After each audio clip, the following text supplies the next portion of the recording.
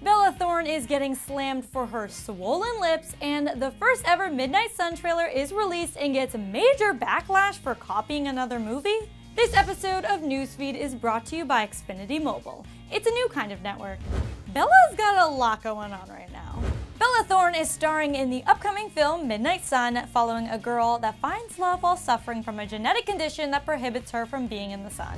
The trailer looks very cute, but many fans are saying it looks too similar to another trailer for a movie called Everything Everything that came out earlier this year. Everything Everything is a movie about a girl played by Amandla Stenberg with a disease that keeps her from going outside. Let's compare, shall we? Here's a clip from Midnight Sun. I have a severe sensitivity to sunlight. Doctor appointments became a part of my routine. It's not going to fall into remission, and every year the risk becomes more serious. So I spend all my time indoors, behind special windows. And here's a clip from Everything Everything. This is my whole world. My nurse, my mom, my sickness. I'm 18 and I've never been outside.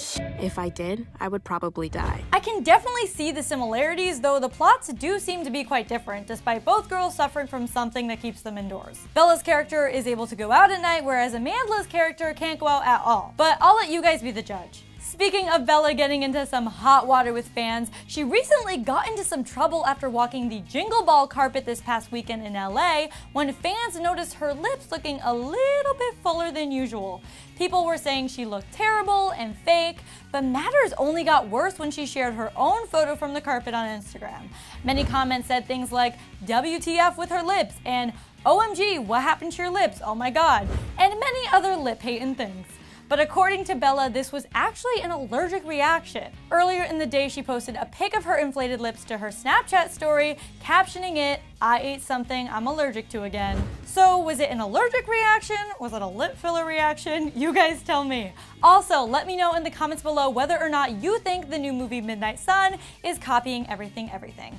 I'm your girl Renee Ariel. You can follow me at Renee Ariel, and I'll see you next time.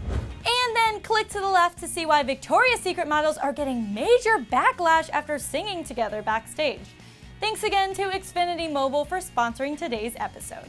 Xfinity Mobile is a new kind of network designed to save you money.